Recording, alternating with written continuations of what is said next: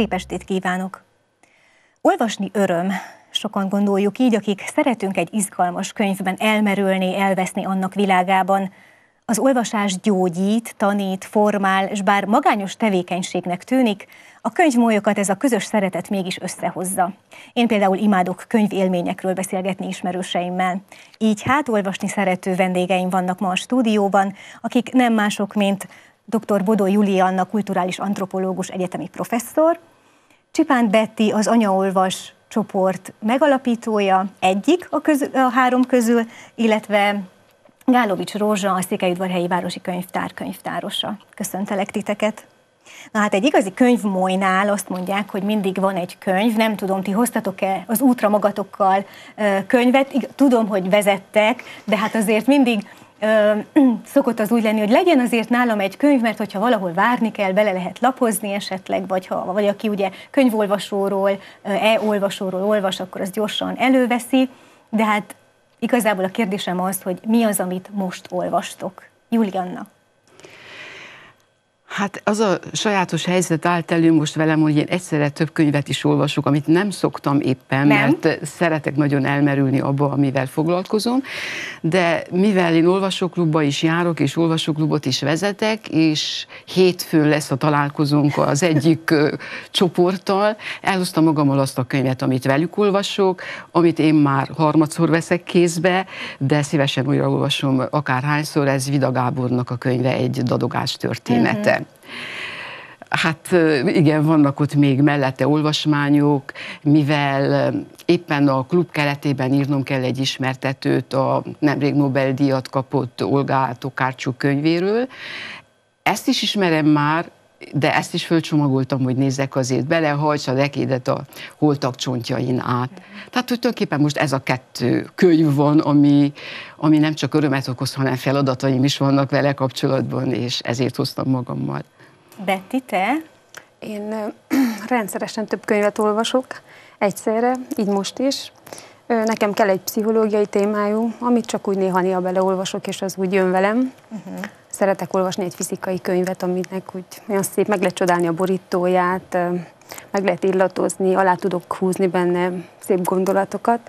És a harmadik az általában egy elektronikus könyv, ami úgy estére, esti olvasni való az egy könnyedebb kell legyen, amiben úgy olyan jól bele lehet aludni, és nem borzolja fel a kelélyeket, nem túl mély, nem nagyon izgat fel, hanem inkább segít úgy elaludni. Így most is akkor hármat olvasok, az egyik a, az a csend erőssége, az introvertál gyerek erősségéről szól. Én azt hittem, hogy mit olyan információkhoz jutok, amivel Kristófot segítem, aztán kiderült, hogy én vagyok az introvertált, magamon fogok segíteni. Aztán olvasom egy, egyik Sáfák könyvet, az isztambuli fattyút, ő a könyvbeli olvasmány, és este pedig olvasom Dolly Aldertonnak a szellemeket. Hmm. Te is több könyvet olvasol egyszerre, Rózsa? Előfordul, igen. Um, amióta megvannak a lányaim, azóta kevesebb időm van, és, és um, nem mindig jön ez össze, de most is éppen kettő van az éjjeli szekrényen. Én is olvasóklubot vezetek a Városi Könyvtárban, én már tizedik éve van meg az olvasóklubunk, és a, az aktuális a Elena Ferrantinak a Nő a Sötétben, ez lesz most, ennek fogtam neki igazából tegnap. És uh, van egy másik, ami most uh, novellákat, elbeszéléseket, kartolatokat uh, tartalmaz, uh, most múlik ez a címe, és a kortárs magyar szerzők, mint um, Eszterházi Péter H. János, Tompa Andrea, uh, és még sorolhatnám, sok, azt hiszem 30 darab van benne, és a halálhoz, az elmúláshoz uh, van köze mindegyik, mindegyiknek. Most ezek. Szoktatok-e verset olvasni? Április 11-én volt a vers uh, költészet napja, és azért a verseket ritkábban olvasunk. Ti ezzel hogy vagytok? Rózsa? Igen, igen. Um, általában most uh, kezembe került uh, Szabó Tévanának az Ár című, azt hiszem ez a legfrissebb verses kötete. Um, nem, nem minden nap, vagy nem, nem állandóan, de hogy, hogy áll, ott van a könyvespolcon, és, és leveszem, és belelapozok, és Szabó Lőrinc, nagy kedvencem még, aki főleg most így, így tavasszal, nem tudom, tavasszal valamiért mindig rá, van egy ilyen kis fehér kötetem, aminek az a címe, hogy uh, um, nem tudom pontosan címét, de van benne egy ilyen vers, hogy habszó, májusi rózsák, valami ilyesmi a címe, és maga a kötet is annyira szép, kicsi, fehér, van rajta egy rózsaszín virág, és jól esik kézbe venni és belelapozni és elolvasni. Igen, szeretek verset olvasni. Betty, te? Ritkábban.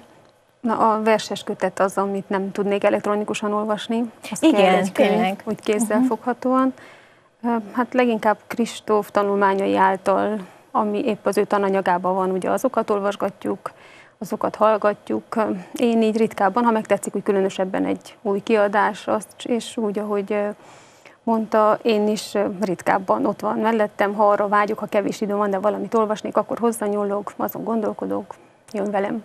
Igen, azt hiszem, hogy Dragomán György mondta egy interjúban, hogy minden napját azzal kezdi, hogy elolvas egy, egy verset, mert hogy akkor Szép. úgy van egész napra egy útravaló, és van, amin elmélkednie, és hogy azzal is milyen jó, mert hogy egyre több költővel meg versel ismerkedik. Julianna, te szoktál-e? Igen, én, én szoktam verseket olvasni, nyilván, hogy prózát többet, de kicsit a beszélgető partnereimhez hasonlóan úgy alkalomszerűen veszek elő uh-huh. egy-egy olyan kötetet, amelyet nagyon szeretek. Nekem egy ilyen nagy kedvencem Rakowski Zsuzsa, akit prózaíróként is ismerünk, kortárs magyar író-költő, de ő, ő neki a költészete valószínű azért is áll annyira közel hozzám, mert a szerepverseiben egy-egy, egy-egy társadalmi réteget, vagy egy-egy típust tud olyan, olyan formán megjeleníteni, hogy az ember ráismer a saját környezetéből is azokra az emberekre, vagy akár saját magára. És valahol mindig az emberi esendőség, azok a szerencsétlenkedések, amelyeken az életünk során végigmegyünk, gyerekkortól felnőtt koron át, ez azzal együtt, hogy ilyen emberi esendőségeket vetítenek elénk, de mégis valahol vigasztalók is, vagy, vagy ez, ebben, ezekben a szembesítésekben van egy csomó olyan önmagunkra ismerés, ami hát azt mondja, hogy igen, ilyenek vagyunk mi emberek. Uh-huh. Ezért, ezért szoktam őt elég gyakran olvasni. Most már mindannyian említettétek, hogy könyvklubot vezettek valamilyen szinten, ilyen könyvolvasó csoportnak a tagjai vagytok. Mit ad ez hozzá az életetekhez, vagy miből született meg, hogyan kerültetek be egy ilyen csoportba? Betty, hogy született meg az Anyaolvas Facebook csoport? Hát az Anyaolvas Facebook csoportnak láttam az első beszélgetését, amikor szó volt egy más csoportban, uh-huh. hogy mhm. legyen Anyaolvas csoport, Imola tett be, és túl aktív voltam, valószínű, azért lettem adminisztrációs. Ő vett be, tehát nem a legelső alkalomtól vagyok uh-huh. olyan az egyik adminisztrátor. Mindig is vonzottak a könyvek, egész életemben körülvettek, mindig is szerettem volna olvasó közösség tagja lenni. Nem volt sem óvodában, sem iskolában, sem a liceumban ilyen. És akkor ez így, hogy hozta önmagát, kialakult egy szorosabb, belsőbb kör, és akkor úgy kérésre lett meg ugye így, mint egy kihívás, de hogy amit ad az a közösség, ahol együtt vannak olvasó emberek, azt, azt nem is lehet elmesélni. Az olyan jó nekem olvasóként olvasó emberek között lenni, érezni azt a valamit, ami összeköt, mikor egy célzást teszünk egy könyvről, és rögtön érti a másik, nem kell fél órát magyarázni arról az műről, arról az íróról, vagy egy könyvről egymás szavába vágva, mikor áradozunk, hát annak nincs, nincs párja. És ez a barátságok, ezek a kötelékek, amik kialakulnak, úgy mindenki valamilyen szinten rokon lélek, úgy gondolom, aki szeret olvasni. Ott valami közös van, még egy csendesebb személyiség is kap egy szállat, ahol elindul és barátkozik, beszélget, mert előhozódik egy könyv. Igen, ami hatással van rá. Igen. Hogy általában azért a könyvklubok azok nem online felületen vannak, ez a csoport viszont igen. igen. Ez plusz ad hozzá, vagy miben más szerinted? Hát szerintem, mivel ugye ez egy anya-olvas klub kihívás csoport, ez az online dolog, ez egy plusz nekünk, mert figyelem a csoport aktivitását. Este, mikor a család elalszik, nyugi van, akkor indul a beszélgetés, akkor szólunk hozzá, akkor lesz erre idő. Uh-huh. Julian, te mondtad, hogy egy nagyon különleges olvasóklubnak vagy a tagja. Igen, ez Csíkszeredában a Kalut intézmény keretén belül működik, egy olyan olvasóklub, amelynek van kilenc csoportja, fejenként, illetve csoportunként tíz taggal, uh-huh. Öt városban, Csíkszeredán kívül itt Marosvásárhelyen is van két csoport, meg Sepsiszentgyörgyön, Székelyudvarhelyen. Ez annyiban különleges ez a csoport, hogy úgy működik, hogy a, az egyik csoportnak, az adott csoportnak mind a tíz tagja elolvassa ugyanazt a könyvet egy hónapban, havonta egyszer találkozunk, és megbeszéljük azt a könyvet, van egy ilyen két órás összeülés. Elég a két óra? Hát nem mindig elég, de úgy próbálunk beilleszkedni ebbe a két órába. Ez azt jelenti, hogy van egy moderátor, jelesen én vagyok két csoportnak a moderátora, fölkészülünk mindannyian, nyilván én rám hárul nagyobb felelősség abban, hogy előkészítsem, hogy, hogy levezessem ezt a beszélgetést. Ezek a rendkívül izgalmas beszélgetések, a könyveket a, a kalot biztosítja a csoportok számára, úgy keringenek tízes könyvcsomagok a különböző városok és csoportok között, és számomra ez, hát, hát én azt hiszem, hogy bele kell, nyolc éve csinálom én ezt, de a klub az hamarabb elkezdett működni, eredetileg egy csoport, aztán két csoport, és mikor igény lett a harmadik csoport megszervezésére is, akkor keresett meg a, ennek a klubnak a, az eszmei vezére, Fejes Ildikó, mert ő találta ki, és ő szervezi, hogy vállalnám-e egy következő csoportnak a vezetését. Én egy kicsit elgondolkodtam azon, hogy ilyen lekötöttségek mellett nekem ez még belefér, de nem tudtam ennek a kihívásnak ellenállni. Annyira vonzott, és annyira jó ötletnek találtam azt, hogy nem úgy működnek a csoportok, vagy, vagy nem úgy gyűlünk össze, hogy na hát most valaki okoskodik egy könyvről, amit a többiek nem ismernek. Itt az az izgalmas, hogy mindenki ismeri ugyanazt a könyvet.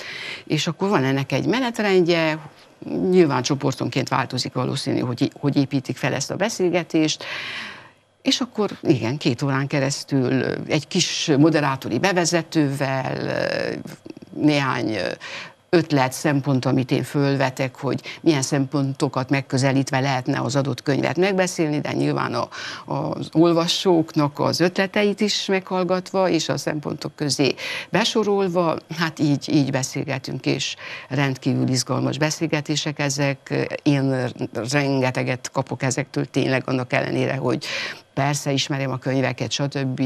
Sokszor olyan könyvek kerülnek sorra, amelyeket már azelőtt olvastam, de azzal együtt is ezek, rengeteget tanulunk egymástól, és én, én azért is szerettem meg ezt a formát, nem is a könyvklubba, hanem már jóval előbb milyen társadalomtudományi klubot működtetve, tehát már évtizedekkel ezelőtt gyakoroltuk ezt a formát, hogy valamit egy, egy közös gondolkodás. Uh-huh egy témáról közösen gondolkodni és hozzátenni, megvitatni egymás ötleteit, ez, ez hihetetlenül sokat ad hozzá. Tehát Igen. nekem ezért nagyon, nagyon jó ez a könyvklub, és úgy látom, hogy a, a csoporttagok is nagyon szeretik. Igen, nagyon érdekes, mikor ugye egy könyvről beszélgetünk, hogy megfigyelni azt, hogy, hogy a másik teljesen másképp látja, meg más gondolatai vannak egy-egy adott pontról, vagy mást emel ki egy-egy könyvből, hogy mi volt neki az, ami uh, mondjuk többet adott, Rózsa, a ti klubotok az gyerekeknek szóló, vagy, vagy ez a kalott? Nem, nem a kalott, felnőtteknek, csak azt akartam mondani, hogy hasonló elven működik, uh-huh. tehát hogy ugyanígy, hogy mindenki ugyanazt a könyvet olvassa el. Az anyaolvasnál is van igen. ilyen közös könyv. Igen. Um, az az érdekesben, egyfajta terápia, szerintem. Ugyan nem hivatalosan nem mondjuk ki, hogy biblioterápia, mert az egy, ez egy másik műfaj, de valamilyen szinten mégis mindannyiunk számára, akik oda járunk, és nagyjából olyan 6-7 éve ugyanazok a tagok is. Ez nem nagyon változott, mert hogy szükség van egy bizonyos fajta intimitásra, tehát hogy, hogy ugyanazok az emberek kimerjék mondani azokat a dolgokat, amik megmozgatják a könyv kapcsán, ahhoz kell ez az intimitás, mert egy teljesen idegen ember előtt nem biztos, hogy kimondaná, uh-huh. hogyha változnának a tagok. Így nekünk is van már egy ilyen egyfajta barátság egymás között, és pontosan ez, tehát asztalostól elkezdve pszichológuson át, közgazdász, szociális munkás, könyvtáros, mindenféle típusú ember, vagy foglalkoztatottságú ember megfordul, nem, hogy megfordul, hanem ezekből áll a, a csoport, és szükség van erre ahhoz, hogy a különböző szempontokat kihozza az emberekből. Szerintem még ez is sokat számít. Igen, igen, igen. Hogyan váltatok olvasóvá? Ez lenne a következő kérdésem, Rózsa. Volt egy olyan pont, amihez tudod kötni? Mert például nagyon sokat hallom azt, hogy főleg a fiatalabb generációnál a Harry Potter volt az, ami beszippantotta őket, és akkor onnantól kezdve megszerették a könyveket, megszerettek olvasni, és oda kötik. Neked volt-e ilyen Hát a Harry Potter mondjuk engem is beszippantott. Jó, én 20 évvel ezelőtt. Igen. Én már 20 éves voltam, amikor elolvastam, de imádtam, és azóta is. Um, hát uh, nagymamám volt az, aki gyerekkoromban rengeteg uh, mesét és történetet olvasott, igazából ilyen magyar királyok szóló történetek, mondákat, legendákat, ami, ami egyszerre szeretette meg velem az olvasást, a történetek iránti kíváncsiságot és a történelmet, mind a kettő jó sokáig végig kísért, és kísér még most is. Um, egész pontosan nem, de arra emlékszem, hogy ugyan nem voltam jó tanuló a, én az általános iskolában, de a nyári vakációban ilyen 10-20 könyvet olvastam ki, aminek jegyzeteltem, és a magyar tanárnak bemutattam, mert Kötelezőket, vagy azon e- Ebben az egyben Stréber voltam, kötelezőn kívül. Igen, hát én ezzel töltöttem mm-hmm. általában a vakációt, hogy olvastam rengeteget. Ez, um, tehát gyerekkorom óta igazából, és nem múlik ez a szenvedély, tehát remélem nem is fog.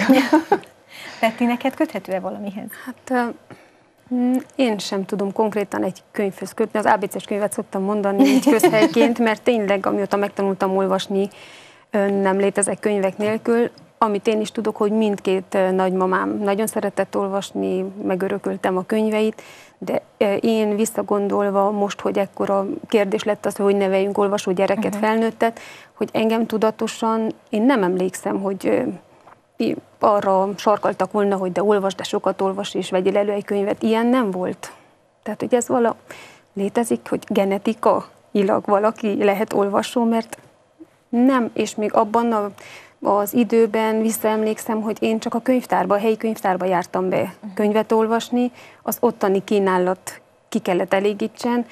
Arra is emlékszem, hogy egy üzletbe, egy poros vitrínjében volt három könyv, és egyik egy szótár volt a óbetűtől, amit tudom meddig, és én azt is meg kellett nekem vegyék egyszer ajándékba, mert az könyv volt és hogy én nem kaptam 5-8-ba háziolvasmány listát, de a szomszéd, a barátnőim egy évvel nagyobbak voltak, ők kaptak háziolvasmány listát, és én milyen szenvedéllyel könyörögtem, hogy szerezzem meg azt a listát, és az egy akkora kincs volt nekem, én olyan büszkén mentem be a könyvtárba, és mondtam, hogy na most tudom, mit akarok olvasni. Nem vártam az ajánlatot. Ezen kívül semmiféle hatás nem volt rám konkrétan az olvasás terén. Ez a háziolvasmánylista, és majd 9-12-ben akkor már tényleg kaptam egy házolvasmánylistát. Julianna, volt az önök idejében egy ilyen Harry Potter? Nem, nem így, így emlékszem én erre, hogy kimondottan egy könyv, uh-huh. vagy egy szerző lett volna, ami rávitt az olvasásra. Egyszerűen olyan volt a környezet. Szóval annyira magától értetődő volt, körülöttem mindenki olvasott, a szüleim pedagógusok, gazdag könyvtáruk, állandóan gyűjtötték, vásárolták a könyveket, tehát annyira, annyira magától, ért, magától értetődő volt, hogy nem kellett mondani, vagy, vagy nem kellett sarkalni, vagy nem kellett erre engem biztatni, hanem az, az is igaz, hogy, hogy a, tanító családban, ott hevertek ABC-s könyvek, tankönyvek, én kíváncsi voltam, hogy mi az az olvasás. Három éves koromban megtanultam olvasni teljesen magamtól, úgy annélkül, hogy bárki is. Úgy megkérdeztem néhány betűt, úgy vannak erről halvány emlékeim, hogy ez mi, milyen betűs, akkor a többi ment magától, én összekombináltam. És amit viszont megemlítenék, hogy amikor a Kriterion könyvkiadónak a Horizont sorozata beindult, én akkor már komoly olvasó voltam, gyerek még, de nyilván már nagyon sok könyv állt a hátam mögött, de az egy hihetetlen dolog volt, mert a sorozat úgy nyomta a világirodalom remekeit, és klasszikusokat, és kortársakat. Ez eszméletlen, és a szüleim mind megvásárolták ezeket a könyveket, és gyakorlatilag azt mondhatnám, hogy ezeken nőttem fel. Tehát egész, még gyerekként ismertem még Camus-t, Sartre-ot, Kafkát, stb., és ez, Hát nem volt egy percig se kérdéses, hogy olvasás nélkül nem lehet, tehát nem lehet élni. Tehát ez egy annyira alapvető dolog az ember életébe, hogy el sem tudtam volna képzelni, hogy, hogy olyan helyen legyek, ahol nincs könyv, elteljen úgy egy nap, hogy nem olvastam. Amire viszont mégis válaszoljak, hogy van-e valaki író, Arany János. Ez, ez valószínű azért történt, mert egy kötete a könyvespolc, az egyik polcnak a legalsó polcán volt, amit én elértem még kisgyerekként, amit le tudtam venni, vonzott. Az volt ráírva, hogy arany, ugye a könyv gerincére, és ez olyan vonzó volt. Arany költemények. Hát ez biztos nagyon jó. Nem fogtam fel, hogy az az költőnek a neve, de az arany olyan, tudtam, hogy ez egy nemes film, az valami nemes, akkor itt ebben biztos jó dolgok vannak. És a balladái, nem, nem értettem még igaziból őket, de, de valahogy az a, az a költőiség, az a balladai hangvétel, nem tudom, minek kell nevezni.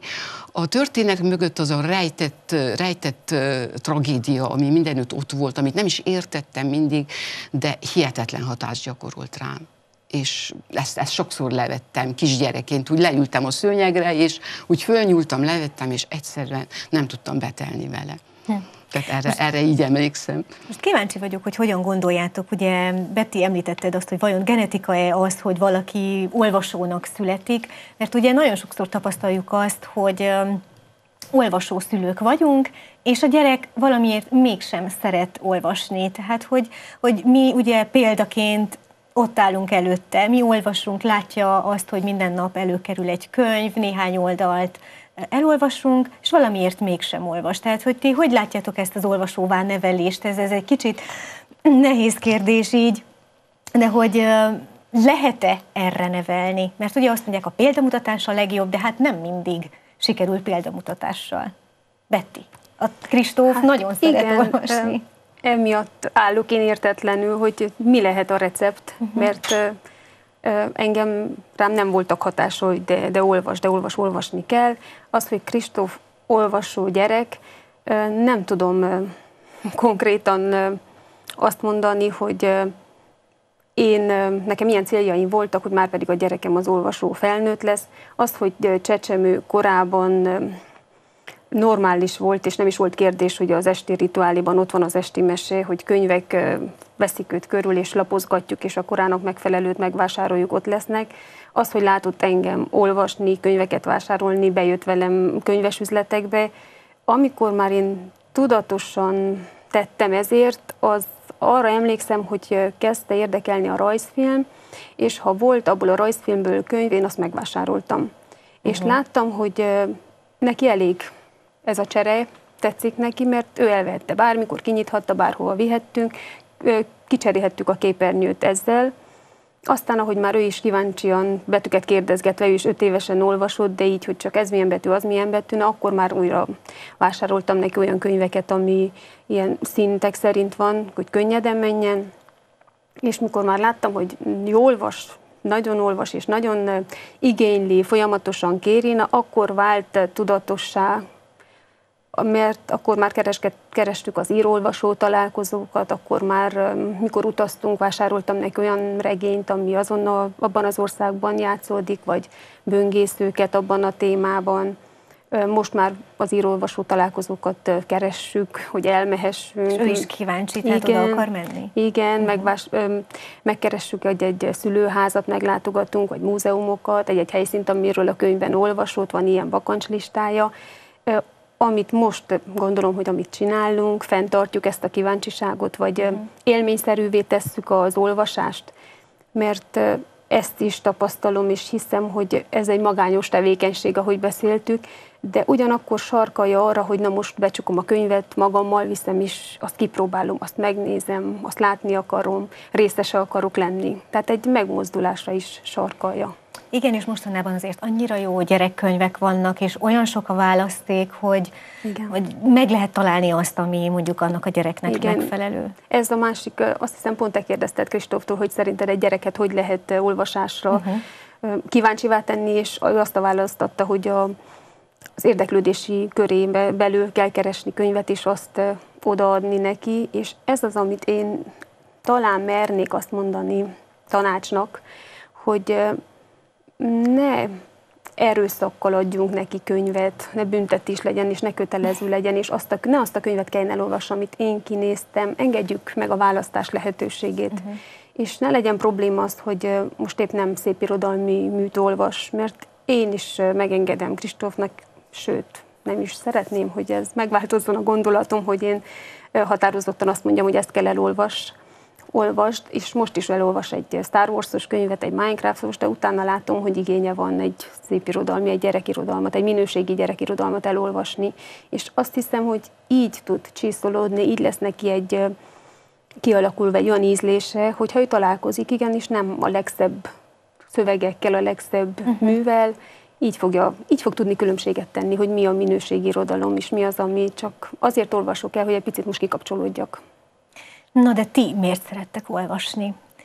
Ez megint egy olyan kérdés, ami, ami elgondolkodtathat, de azért ö, kíváncsi vagyok, hogy, hogy mit mondtok. Júlia? Hát erre valóban nem könnyű válaszolni, főleg, főleg azok után, amit mondtam, hogy ez annyira magától értetődő tevékenység, hogy nem válik el a, a világ, az ember világának a többi részétől. Tehát nem egy, nem egy olyan, hogy most vagyok ez, vagyok hamaz, és most vagyok az olvasó ember, uh-huh. hanem az valahol benne van mindenben. Azért is nehezen találom erre a választ, mert én nem szeretek ilyen patetikus lenni, meg gyönyörű nagy szavakat mondani. Ez, ez úgy távol áll tőlem. De akkor mit lehet mégis mondani olyant, hogy hiteles legyen, de, de ne valami szép elgés legyen? Tehát nekem most ez a problémám. Uh-huh. Talán, talán az egyik az lehetne, hogy jobban megismerjük a világot és benne önmagunkat. Tehát a gyerekek is, amit olvasnak, vagy a felnőttek is, azoknak a jó nagy része valami olyan olvasmány, amiben van egy narratíva, van egy történet, van valami szüzsé.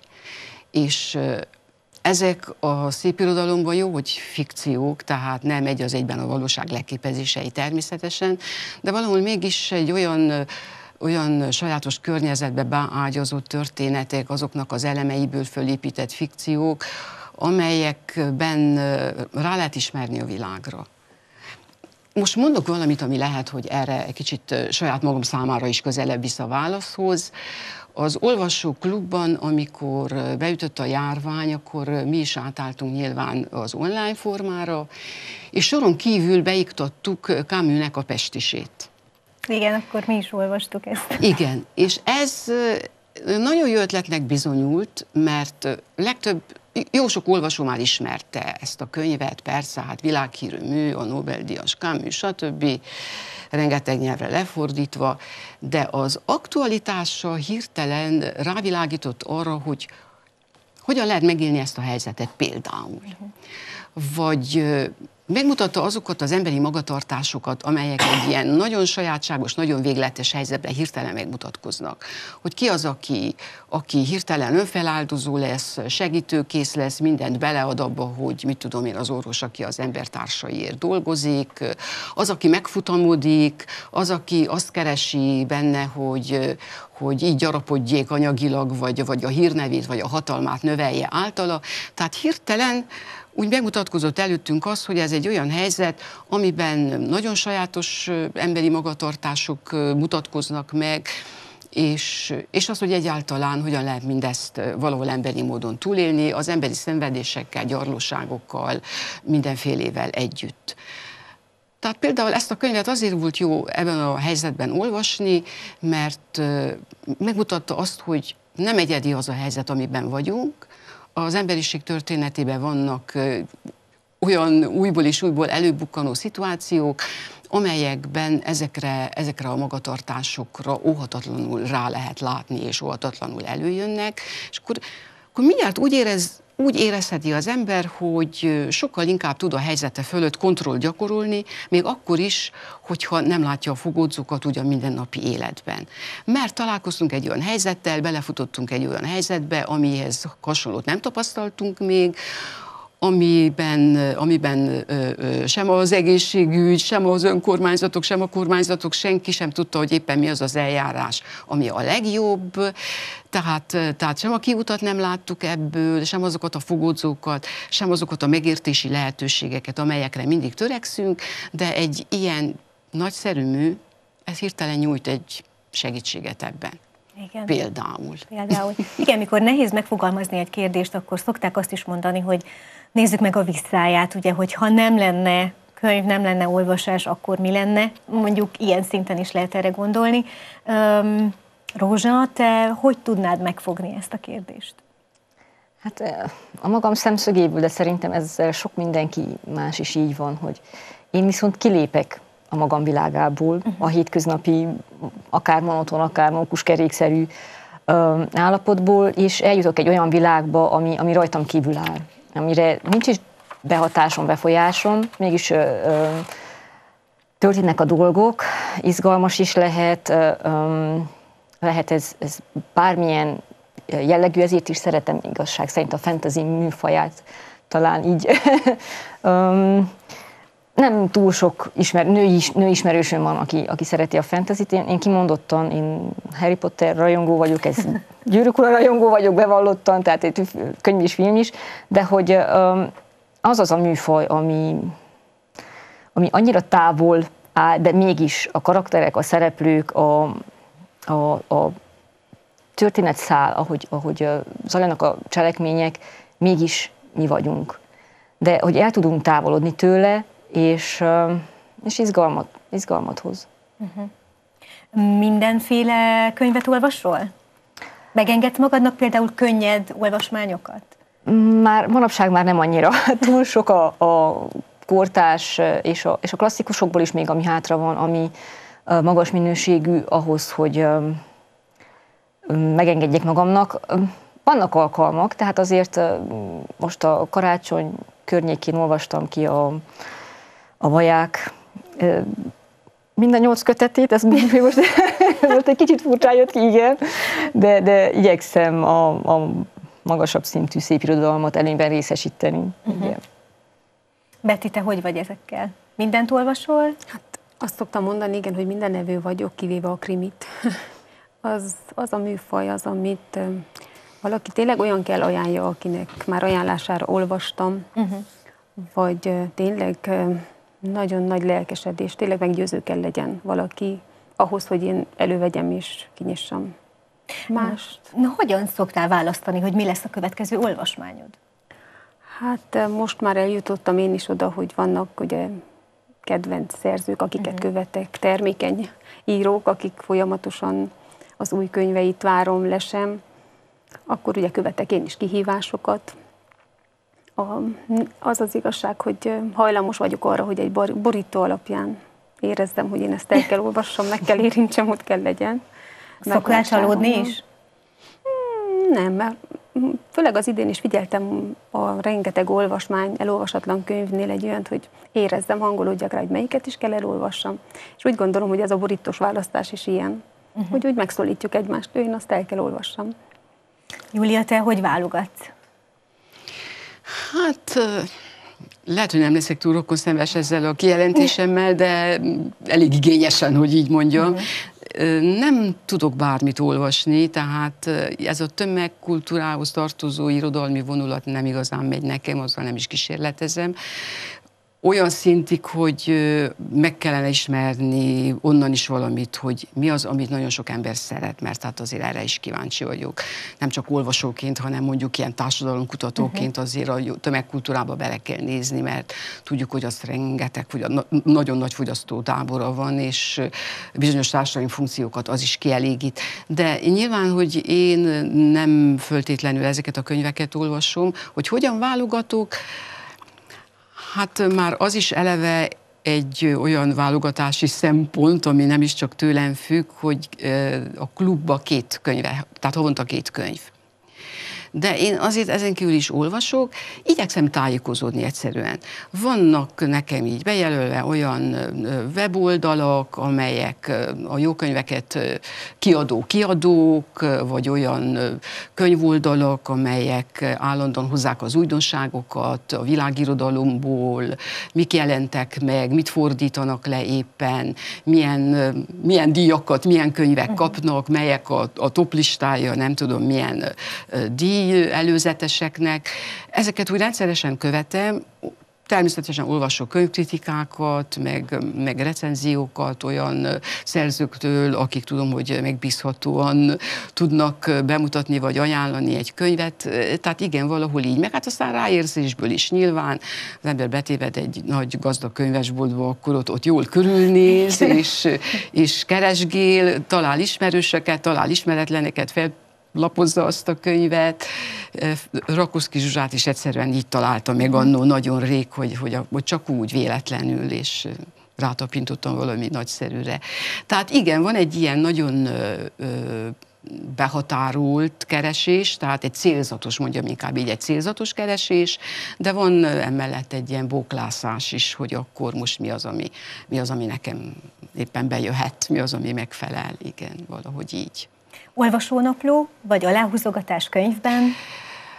Nem, nem szoktam aláhúzogatni, Mm, olvasónaplót se írok ilyen nagyon rendszeresen, inkább ilyen jegyzetek időnként, amelyeket valahol valamit fontosnak találok, hogy ne felejtsek el, vagy térjek vissza hozzá a klubhoz nyilván ugye persze, az egy kötelező persze. dolog, ott, ott nyilván készítek komoly jegyzetanyagot előre, és uh, igyekszem az íróról tájékozódni, a könyvről tájékozódni, hogy tudjak egy olyan bevezetőt nyújtani az olvasóimnak, a klub, a, a csoporttagoknak, hogy legyen min elindulnunk. Egyébként a klubnak van egy igaz, hogy csak zárt Facebook csoportja, és ott elég sok mindent megosztók, amit az adott éppen olvasásra került könyvekkel kapcsolatban jónak találok, és ajánlom az olvasóknak. Ezt általában el is szokták olvasni. Nagyon szeretik, hogyha még kapnak valami Just. kiegészítő uh-huh. ötletet az olvasmányhoz, és hogyha valami olyasmit sikerül, ami megmozgatja a fantáziánkat, akkor ezt a, e, ezeket is megbeszéljük, vagy, vagy, vagy megmondjuk, hogy mi segített hozzá, hogy bizonyos dolgokat jobban megértsünk, vagy jobban el tudjunk helyezni egy, egy jó könyvkritika, egy jó recenziónak a, a segítségével. Igen, ezt én is jónak találom. Tehát én nem szeretek uh, például egyedül maradni egy könyvvel. Mm. Tehát, hogyha elolvasok egy könyvet, nagyon jó, hogyha találok partnert hozzá, Igen. akivel beszélgetni lehet. Annak például egy nagyon jó uh, gyakorlati vagy gyakorló dolog. Hallottam, hogy vannak, akik felolvasnak egymásnak otthon, és úgy olvasnak is. könyvet, az is nagyon érdekes igen, lehet. Igen. Vagy például Rózsa, te ugye um, írsz a nőilegnek is könyvajánlókat. Igen, Tehát az is egy olyan dolog, amikor picit megint visszamész a könyvbe, és akkor össze kell foglalni. Ez, ez így van. hozzáad, nem? Igen, igen, így van. Hát um, amióta a nőileg elindult, azóta írok bele könyvajánlókat, és mindig személyessé teszem valamilyen szinten, tehát az, azért azt beleviszem, hogy számomra amit nyújtott, nem, nem egyszer, egyszerű leírása a, a történetnek. Um, igen, ahogy mondott, tehát úgy vissza kell lapozni, uh, van, amikor eltelik két-három hét, mielőtt meg kell, határidő előtt újra bele kell lapozni, mert lehet, hogy egy-két szereplő nevét is elfelejtettem, mm. de az alap mondani valója, az, ami megfogott, az azért megmarad. Abba, az, abból lehet építkezni, és nagyon jól ki lehet bontani. És általában az aktuális uh, olvasmányaidat osztod meg, vagy igen, mi alapján választasz? Igen. igen, mert hogy akkor abban benne vagyok, érzelmileg, fejben is, és uh, sokkal könnyebb megfogalmazni, igen. És vezetsz egyébként te olvasónaplót, vagy milyenféle olvasó vagy, aki hajtja be a könyvlapokat, a sarkát, vagy belejegyzetez? Könyvtáros vagyok, tehát azt hiszem, ez, mindent elmond. Igen. Nem, ezt nem is szeretjük így visszakapni a könyveket, hogyha visszahozzák, és látjuk, hogy bele van írva az De más, ami a más, és más a igen, saját. Igen, igen más. De nem, nem, abszolút nem szeretem. Tehát nem, nekem a könyv a szentség, az, az úgy kell megmaradnia, hogy akár tovább is ajándékozhatnám, úgy uh-huh. olvasom ki teljesen épp formában. Legmeghatározóbb könyv az életedben van ilyen, amit így um, fel tudnál hozni?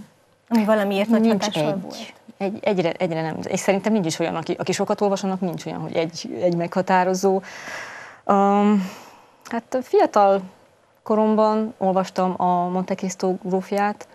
Az, ami nagyon nagyon-nagyon meghatározó. Arra annyi, nem emlékszem nagyon a cselekményre mindenre, aztán később újra olvastam, de a, amit adott nekem, az a plusz, amit hozzáadott az én életemhez, az megmaradt is, megmarad is, egyik nagy kedvencem lesz szerintem mindig.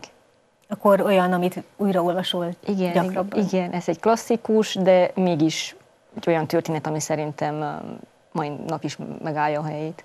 Betty, neked van ilyen? Nekem Kedvenc sincs. vagy? Egy. Egy konkrét Tudtam én, hogy ez nehéz kérdés lesz. Mi, olyan van általában az utoljára elolvasott legjobb könyv. Uh-huh. Ilyenem van. Most, Most mit olvasol? Mondtad, hát, hogy hármat. Abból hármat. melyik a kedvenced? Hát még nincs, mert nem fejeztem be, de az utoljára elolvasott kedvencem az egy Safák, a legújabb könyve, a, uh-huh. az Eltűnt Fák szigete.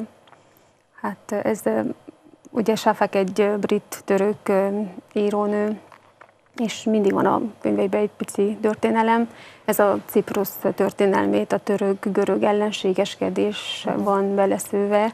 Van egy szerelmi szál, és a különlegessége, hogy minden második fejezetben egy fügefa gondolatait olvashatjuk.